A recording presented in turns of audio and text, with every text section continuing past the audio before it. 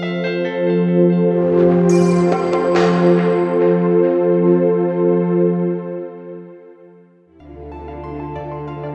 28 градуса достигна максималната температура в Шумен днес. Утре се очаква рязко застудяване. През целия ден ще е облачно, дъждовно и ветровито с умерен северен вятър. Максималната температура ще се понижи с 10 на градуса и няма да надвишава 19. В четвъртък ще има повече слънчеви часове. Вятърът ще отслабне, но ще запази посоката си от север. Минималната температура ще е по-ниска, едва около 6 градуса. През деня ще остане сравнително хладно с максимална температура до 20 градуса. В петък ще започне Toplanet.